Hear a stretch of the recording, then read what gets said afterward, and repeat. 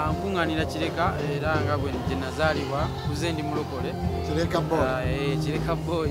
Kanisa bagiyita friends of christ omusumba bamwita pastor lubulwa emma. Musumba Ah, musumba mbadde mulaba nnyo ne saavisi zino ku tv Ah, ng'era mpeereddwa nnyo omukisa okubeera wano olwaleero because ebyensi okuyiga tebiggwayo ate ne katonda. Obulamu buno oba tobutaddemu katonda ndowooza biyinza okwesiba. So okujja wano ne ne baganda bange n'omusumba kiba kizaamu amaanyi eri omwoyo gwange ate era wamu n'okwongera okukola ki? Okula n'okuyiga ebintu ebalala byebakola ki? Byebayiga Ah, kuzza myoyo gyaffe mu nteeko.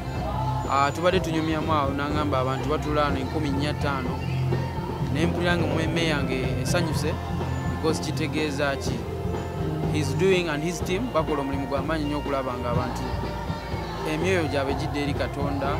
Ebituteganya bye bingi ate bodda mu art industry biyitirira. So bwe tubeerayo ne piira ey'amaanyi ng'eno kugembe ng'agezaako okuwumbawumba. It will help us a lot. So ndi musanyufu nnyo nti zeno lwaleero era bwe tuva wano n'ebyo ebyoyogedde nabigenda bimuyisaamu ndaba oba anajja Eh, nina okufumba